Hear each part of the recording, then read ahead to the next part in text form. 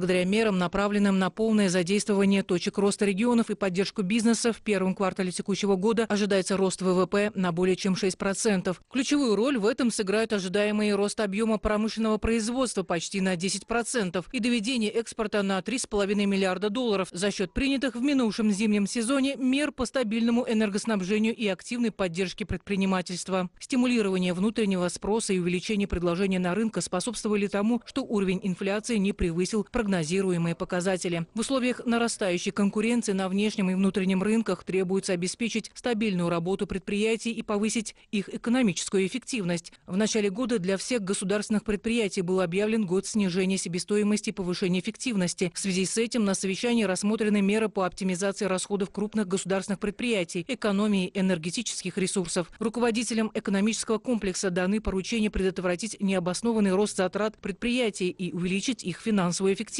Глава государства акцентировал внимание на вопросе инфляции, подчеркнул необходимость расширения локализации повседневных товаров, содействия предприятиям в увеличении производственных мощностей. Отмечена необходимость широкого использования промышленных зон и кооперационных возможностей регионов при реализации новых инвестпроектов. Основное внимание должно быть направлено на производство продукции с добавленной стоимостью, создание рабочих мест. В этой связи поставлены дополнительные задачи по полной реализации экспортного потенциала отрасли и регионов, созданию для предпринимателей удобных логистических цепочек для выхода на внешние рынки, повышение конкурентоспособности продукции.